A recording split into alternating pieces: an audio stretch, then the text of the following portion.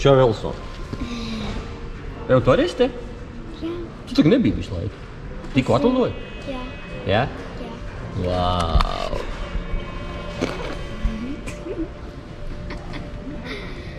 Zini, kas viņam ir? Izrādās, Daniela, mums arī šeit ir. Aha. Abi īsumā par viesnīcu. Esam Royal. Nē, Rehana Royal hotels. Resorts, jā. Tā tad īsumā. Ir, mēs jau zinājām, ka Eģiptē jebkura viesnīca, kas ir 5 zvaigžņu, viņa reāli ir 4 zvaigžņu, nu, pēc mūsu tiem kritērijiem. Nu, ja baigi, baigi acis pievaram, tad šī ir, protams, kad ir 4 zvaigžņu, bet tā, ja mēs baigi atveram acis, un pat ir 3 zvaigžņu reāli. Mm, nu, pieņemsim, jā.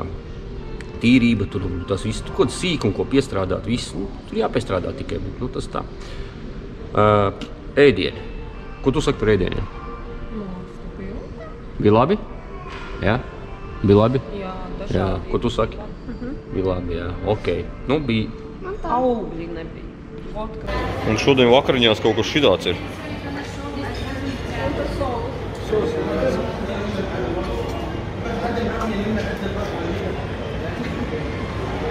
Kaut kāds tematiskais vakars.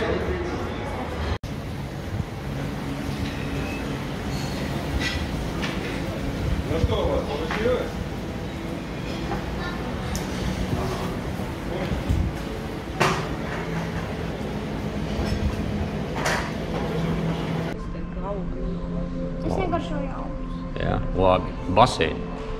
Oi, vai kurš tur rāda pirmā? Man jau šitas pirmais bija jārāda. Bija labi, jā. No, di, ā, divi, tā tad ir jau divi. Tev bija labi? Jā, nu, ot, jā, baseini, jā, baseini arī baigi labi, bija viss kārtībā. Kalniņi un bērniem ritīgi. Nu, bērniem ļoti labi, jā, jā. Tā, nu, viss tā kārtība, tīrība, jā, nu, protams, ka varēja bišķiņu, bišķiņu varēja būt labāk. Nu, nedaudz labāk vismaz. Jo tur numuriņš baigi, tur viss, kas tajā numuriņā, tur, vai, tur skep ļep reāli. Nu tā, šis ir mūsu numuriņš. Nu, tas gan, kad mēs jau vācamies ārā, bet pa lielam mēs šeit neesam neko lagāt darījuši.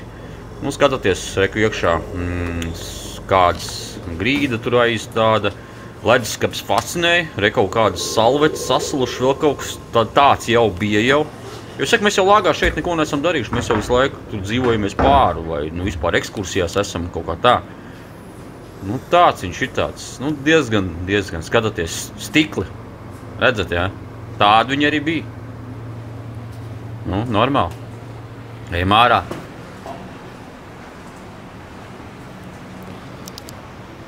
Galds, neku malu paskaties, re. Jā, forši. Krēsls. Apā. Lūdzu. Tāds viņš jau arī bija. Viņš jau izskatās, ka viņš jau tur kaut kādus divus gadus jau tāds jau stāv jau. Nu jā.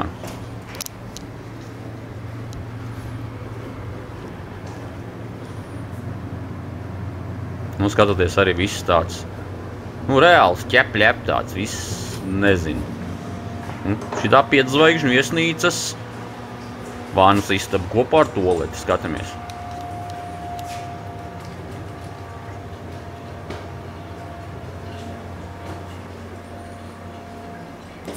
Šeit arī viss tāds sarūsējis tāds, nu redzat, jā. Ja?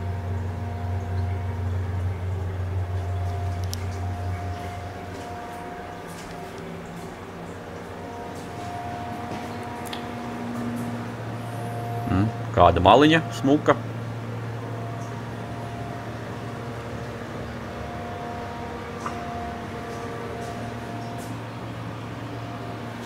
Jā, šeit arī skatāmies. Tāds apdare ļoti tāda, nu, perfekta, kvalitatīva, tiešām, nu, pēdiņās, protams. Tā ir piedzas, viņi sevi reklamē kā piedzas zvaigžņu viesnīca. Un, cik es tā sapratu, tad Eģiptē tādas ir pārsvarā tādas ir. Ir, protams, tās luksus viesnīcas, kas skaitās. Tās, jā, bet šeit, nu, pots laikam tur bija daudz, daudz mazāk, bet arī rekrutē tāds. Nu, varbūt es tiešām pa daudz piekasos, bet, nu, atvainojiet man, tad nereklamējiet, skatieties kāds sarūsējis galīgi. Tad nereklamējiet sev kā piedzvaigžņu viesnīca, nu.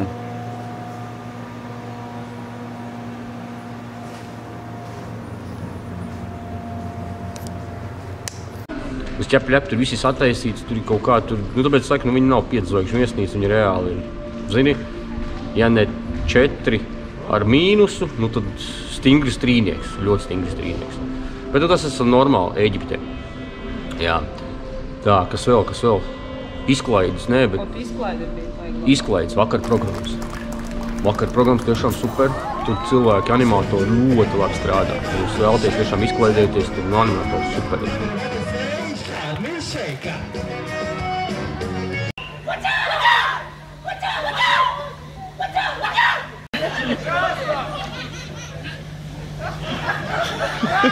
Now, my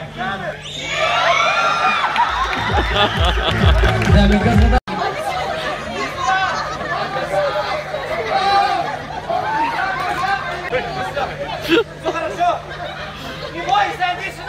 Let us go!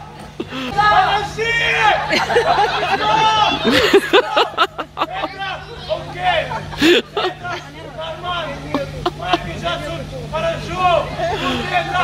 Onde o Sancho? Entra! Mia!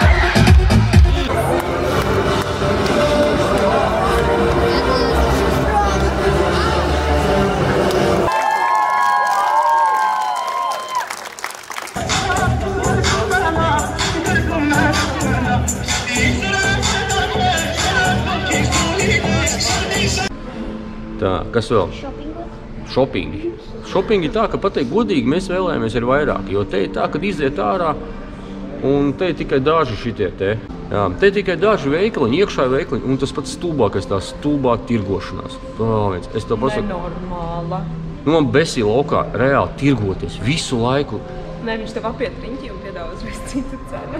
Nu, jā, viņš vienu cenu nosauc, tā jau ķipa, jā, bet pati zemākā cena, kādu vien es tur vien varu, un ja mēs iesim projām, viņš piedāvās vēl par cik šodien jūs smuki izskatāties, un tādā garā vēl zemāku cenu. jā. Nu, sviests kaut kāds īstenībā. Mēs, mēs reāli tajos shoppingos patērējam laiku 30 reizes ilgāk nekā vienkārši ieiet, paskatīties un nopirkt. Visus jau čau.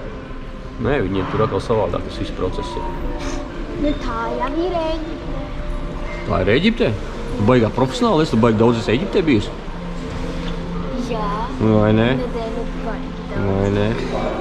Jā, tā tad par laika apstākļiem. Laika apstākļi bija tā, ka mēs tagad esam novembrī sākumā, 2019. gadā. Bija no Maskavas vēsākais bija 29 grādi. Nu, dienā. Tas bija 28. Nu, iespējams, jā. Nu, bet tad bija apmācīts. Nu, bija viņa apmācījies un vējš bija. Bet tā pārsvarā ir no, no 29 līdz 32 grādi. Nu, karsts novembrī. Nu, jā. Ūdenī ieiet, jā, bija daudz reizes sarkanais karoks, bija, ka nevarēja iet ūdenī, bet par cik tie korāļi, tas rifs ļoti liels, tad tur pa turienu var staigāt. Tur tas tā, bet tikai par snorkelēšanu, par to ir tas jautājums, kad, nu, snorkelēt ir sarkanais karoks, tātad lieli viļņi. Es pašā pirmajā dienā trāpīju uz tiem lieliem viļņiem, es vienkārši neko nesapratu, tāpēc, ka pirmo reizi snorkelēju. Bet, nu jā, bija forši, bija forši, jā. Es snorkelēšu tiešām ūdens dzīve šeit ir. Ja jūs prasat man, 5 ar plus uzreiz var pasaka, pateikt, jo tas ir tiešām super. Kas? Ah, No zivīm. Elsonai bija bail no zivīm. Viņas bija tieši tur. Viņas bija, viņas bija miljonas tās zivis, jā. Tātad Eliso, nu, principā reāls viens iesnorkelēja, nu, pārējās visas varbūt tās.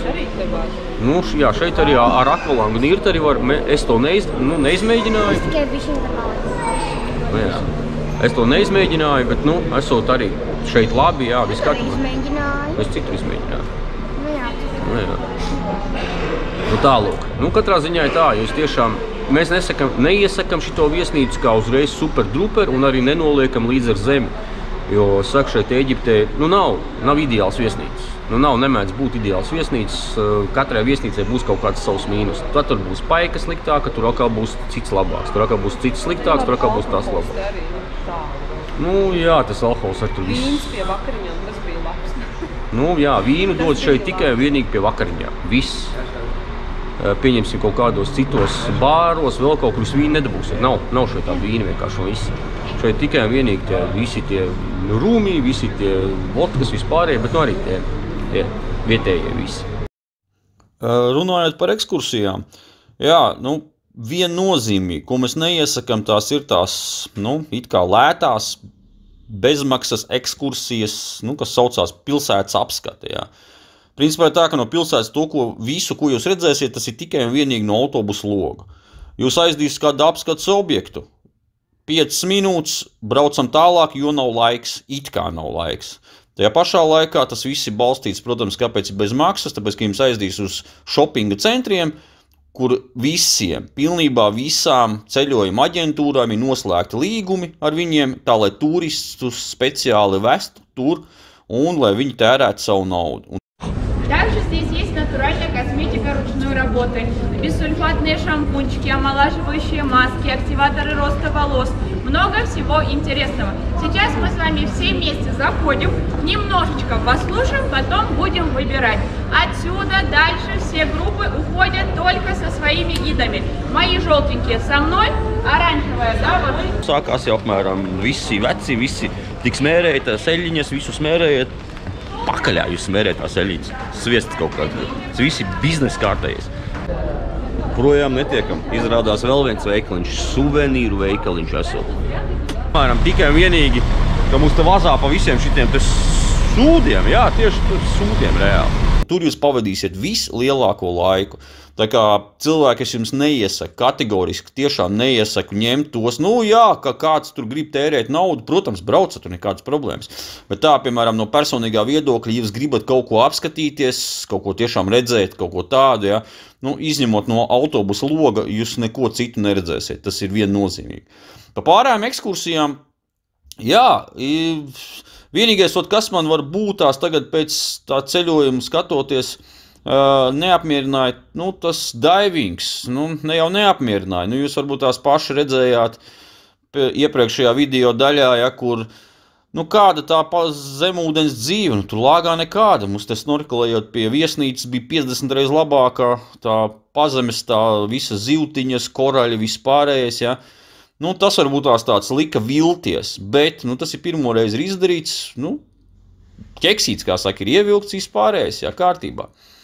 Par, protams, par tām piramīdām. Jā. Nu, ja jūs esat šārmā, jums ir jāizvērtē. Neaizmirstiet to, ka tādas piramīda apmeklējums no šārmas tas ir obligāti ir ar lidmašīnu jālido.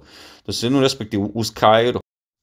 Ja jūs gribat vienā dienā to visu izdarīt, Jo ir arī ekskursijas, ko piedāvā ar autobusu braukt, bet tas jau, ja nemaldos, bija divas, divas dienas. Ja es, nemaldos. es varu sameloties, man liekas, ka divas dienas, bet vienā dienā viennozīmīgi to nevar izdarīt. Un par cik mums parasti ir uh, ekskursijās ir ierobežots laiks, un tad mēs, protams, izvēlamies to ātrāko, varbūt ne lētāko variantu, bet nu, ātrāko variantu.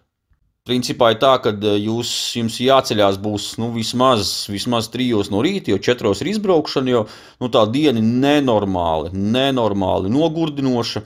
Jā, bet nu, varbūt tās tiešām bija to vērts, jo kā nekā tas ir tie pasaules brīnumi, redzēt, pieskārt. Oh, es esmu pieskāries pie piramīdas. Ties arī redzēt, kā dzīvo citur cilvēki, ja, kad mēs te Latvijā sūkstamies par, par, par dzīvi, par to, ka mums te algas nav un tādā garā, ja, nu, viņi vispār izdzīvot reāli kaut kādiem 120 dolāriem mēnesi. Nu, labi, protams, ka te jau, te jau viss var strīdēties, kurš par ko, respektīvi, nu, ka viņiem tur cits izmaksas dzīvošanai un tāda gara, labi, tas jau kā cits stāsts, bet nu, es tikai stāstu to, ka iespējams arī tas ir vērts paskatīties, kā cilvēki dzīvo citur, kādos apstākļos un, un, un nu, tādā garā, ka mēs, nu, O, jā. Jūs pat nestāties priekšā, kā šeit smird, ej, tak tu nost. Te laikam, nu, zirgi, kamieļi, viss te jāj, kakā, čurā, viss te un pasties zemē, kas te notiekās. Tāds cūku kūts, ārprāts. Un rekurs smukas piramīdas blakā. Pie- Piemēram, es ļoti vairāk novērtēju to, kādā valstī tomēr es dzīvoju. Tas gan vairāk ir tīrības ziņā, ru- runājot par tīrības ziņu un tā, kad, kad tiešām nu, ļoti super.